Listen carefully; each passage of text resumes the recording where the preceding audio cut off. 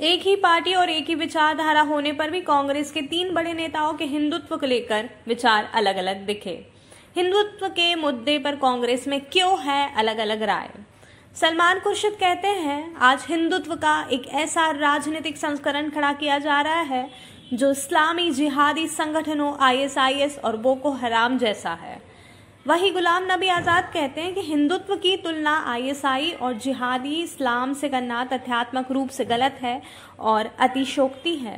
राहुल गांधी ने कहा, हिंदू धर्म और हिंदुत्व में फ़र्क है। अगर फ़र्क नहीं होता तो एक नाम होता।